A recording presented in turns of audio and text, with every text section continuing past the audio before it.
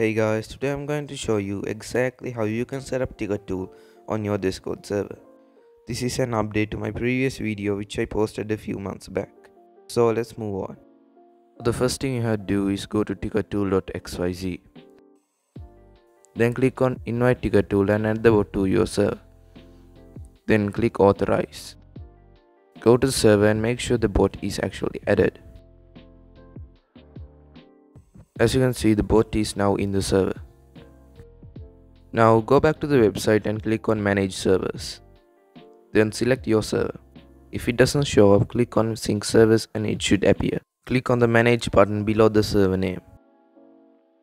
First we will be setting up support team roles. If you don't have a staff team role go back to Discord and create a role called staff or anything else you like. I'm going to enable this option. After that drag the role up. Then save changes and go back to the website. Refresh the page and select the role. Then click on save. Now go back. Now we will set up the categories. Since I haven't created any yet, I'm going to go back to Discord and create them. I will be naming them like this. Create one for open tickets and also for closed tickets. Then arrange the categories as you please. Go back to the website and refresh. Then select the categories. Again click save. We won't be editing any of these options because it's not very necessary to do so. Now we will be setting up transcripts. Since we haven't created the transcript channel yet, go back to Discord and do that. I will speed it up. Go back to the website and refresh. Then select the channel. Now go back. Click on rename and rename the panel as you like. I'm just going to add some emojis. Then click rename. After all that is done, click on send to send the panel to the server. I'm going to go back to Discord and create a channel.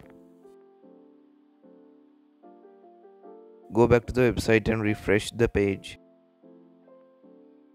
Then select the channel. Then go back to Discord to check if the panel has been sent. As you can see it has been sent to the server. Also you have to make sure to do this. Make it so that not everyone can see the open tickets and closed tickets categories. Then follow me.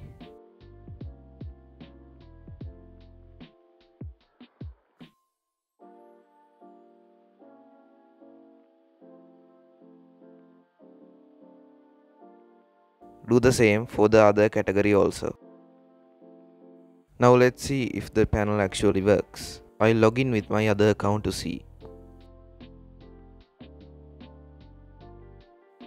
As you can see it works.